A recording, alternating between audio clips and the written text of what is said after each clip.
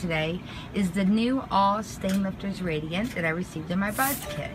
And of course it says it restores whites and protects colors, but because of its stain fighting agents, I am going to test it out on this Dingy Dingy heating pad. I don't know if you can see this, but it's going into a load of Nothing Darks. And what I'm going to test is will it get the stains out as well as will it um, be affected by the colors.